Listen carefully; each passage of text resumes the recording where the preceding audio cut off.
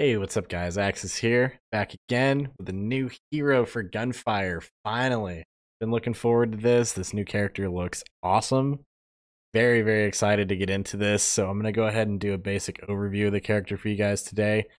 Uh, just kind of go over the uh, the skills, the ascensions, the talents, that kind of thing, and then at the end I'll go over a couple of the ascensions that I think would go well together to make certain little builds out of them, and then from there, I'm going to try to do a gameplay run through build using some of the builds that I actually have tried to come up with here. Um, so hopefully they work out well. And let's get over to the character overview. All right, so here is our new hero. Name is Tao. Got the first female character in Gunfire.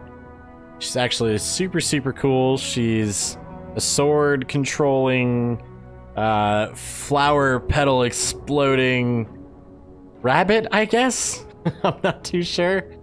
Uh, she's actually really, really cool. I did do a couple runs with her just to kind of mess around with some stuff to to see where I think the builds are going to work out well with her. Um, as far as her skills, she's got, of course, a primary, secondary, how everybody else does. Uh, her primary is called Swords Out, you essentially just shoot forward a whole bunch of swords uh, in front of you that do 300 damage each.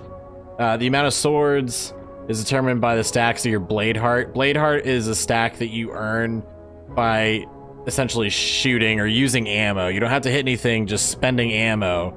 Um, so every 15 ammo, ammo that you consume, you gain one stack of blade heart. You can get up to six stacks to begin with. You can get more through ascensions, which is really nice. Um, so each stack of Blade Heart that you get will summon three swords when you use your Swords Out ability. The secondary for Tao is called Fatal Bloom, and I'm gonna be honest, I've had probably the most amount of fun using this ability with certain ascensions. You essentially pick an area where you're aiming and you, you cast this ability, and it essentially hits with flower petals that explode and mark a bunch of people. Uh, it does 600 damage. The mark lasts for 6 seconds. And once you hit the enemy 12 times, it deals the damage again. So every 12 times that you hit them, it'll do the damage again, as long as the mark is still on them. Um, so if you're shooting something with a high capacity in the magazine with a fast fire rate, you can make that damage trigger multiple times off of one cast. Uh, but honestly, this is an ability that you can kind of just spam like crazy because you you're constantly getting the the pickups to restore your secondary. So it actually makes it a lot of fun if you get a couple of uh, certain ascensions on that one. So for Tao's talents, the first one you can get is Blade and Heart which is plus 5% damage for swords out for every blade heart stack you have. So essentially at the beginning with the six stacks, you'd be at 30% extra damage uh, for using swords out, which is a pretty nice little chunk. You get galloping speed. For each enemy you kill, you get 10% movement speed buff for 8 seconds, and you can get up to 5 stacks. This, to me, is one of my favorite character talents because I always feel so slow when I play this game after playing other stuff. So being able to just almost always have this nice movement speed buff. It's just super, super awesome. The third one's Long Lasting Bloom. So for every five enemies you mark with Fatal Bloom, it restores a use. So this is where I kind of said you could spam this ability. Uh, as long as you're hitting groups of enemies, you'll get the use back, which is really nice. And also, they drop all the time to pick them up to get uses back. So with this mixed with the drops, you get it back so fast that you can almost always just keep spamming it. Uh, the fourth talent, you got Superior Magazine, plus 30% magazine capacity and reload speed. That's just a super nice all-around buff. That's really good for this character based on how I've been using her and how I'm sure a lot of people will end up using her. The fifth one is Resilient Shield. This one to me is super powerful uh, recharge your shield immediately after killing an enemy, and your shield recharge won't be interrupted for three seconds. So essentially, you get a kill, and your shield will charge all the way back up without stopping for the next three seconds, which is super, super cool and very, very powerful. Okay, so my last hero overview, I went through the Ascensions one by one, read them out, and kind of tried to explain what they do a bit more. I don't know that I want to go that deep into it this time. If you want me to, let me know and I will make a deep dive on the character if you feel like you want me to. Uh, but for now, we're just going to kind of do overviews of the three different trees and uh, kind of what they're what they're for. So starting off first, we got Raging Bloom. This is exactly what it says. Enhances your Fatal Bloom, which is your secondary ability. You have Glowing Bloom, Cursed Mark, Flower Chain, No Escape, Mark Chaser, and Blade of Bloom. Blade of Bloom is probably the one that I've had the most fun with uh, for this build in particular. It is a ton of fun and can do some pretty good damage if you get the right mixes of Ascensions on it. The second tree is Mainstay Weapon. This enhances your combat prowess, so this is going to be more based on trying to get your gun damage to do all the work for you. Uh, it's a lot of fun and it's cool because it actually kind of mixes in your abilities to make the damage procs. So that makes it a lot more fun than just simple take this and you get this much more gun damage. Uh, you have Empathy with Sword, Sword Enthusiast, Warlike Blade, Swordsman, Sword Guard, and Ammo Extractor. Then the third and final tree is Blade Rain. Enhances your blade manipulation, which is essentially for your swords out primary ability. You have Sword Shadow, Epic Swordcraft, Amplified Sword, Sword Defense, Furious Wave, and Luminous Heart. This one is very, very fun to run if you focus on just using your swords out ability you can kind of get it to a good point where you can just keep spamming that ability and just machine gunning swords everywhere, and that is a lot of fun.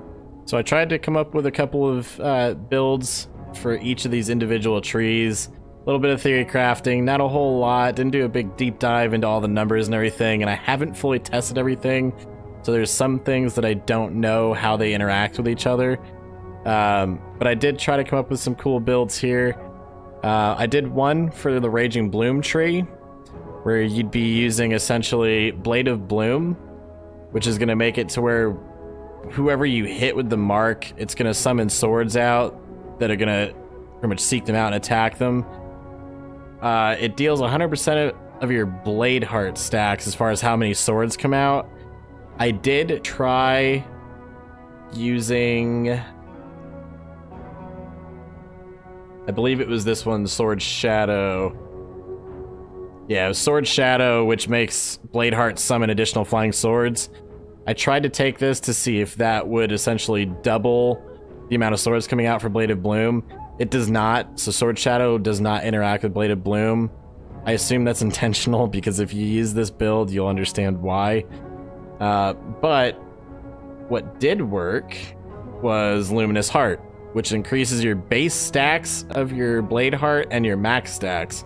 So at level three on uh, on Luminous Heart, you start off with five stacks of Blade Heart, and you can get up to eight. I believe it actually goes to nine, but either way, it's really really nice because then you're getting nine, which makes this summon nine swords, so you're getting an additional three. Um, which when this is maxed out, dealing 250%. So you're actually getting quite a few swords coming out of here.